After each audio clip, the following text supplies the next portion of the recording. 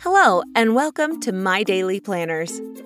Today, I will demonstrate how to add pages to your digital planner on iPad Pro using GoodNotes app.